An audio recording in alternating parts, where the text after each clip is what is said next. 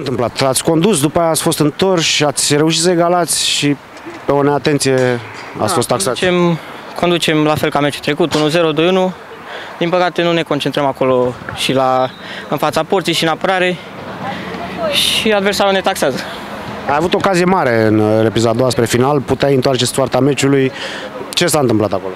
Uh, am, dat, am dat șut, m-a blocat portarul, după am reușit să iau din nou mingea și din păcate a fost un adversar fix în fața pe linia porții și n-a vrut, n-a vrut să fie gol. N-ați riscat prea mult cu portarul ieșit, cu Dragnea ieșit, cu acele pase interceptate de multe ori de către adversari? Uh, Da, am încercat că mai mult cu portarul, dar adversarii o echipă bună, bine, bine au stat în teren. Uh, Noi un, ar trebui să jucăm un pic mai mult pase verticale, mai spre fața porții, foarte mult am jucat uh, spre margine. Da, spre lateral. Și adversarul foarte bine stau în teren, se vede că e o echipă bună, când au, din ce am înțeles, au numai victorii la ei în ca- campionat în Liga 3 Felicitări și baftă mai departe lor. Ce vă rămâne mai departe pentru ce a rămas din Victory Cup? Cupa e greu de crezut că Da, e greu. sau mai sperați.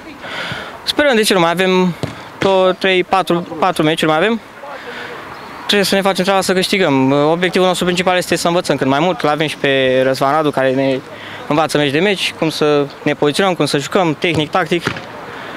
Și în, în Liga 2 noi ne dorim să fim în primele patru, să prindem barajul de, pentru promovare.